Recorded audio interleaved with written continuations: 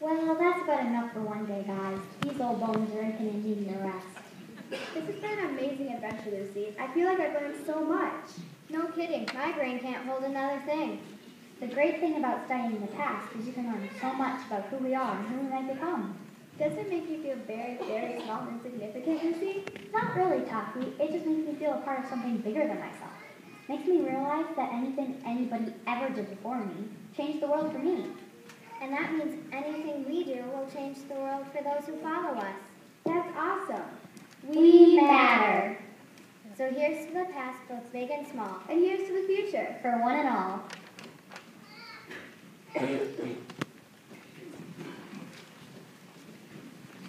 you.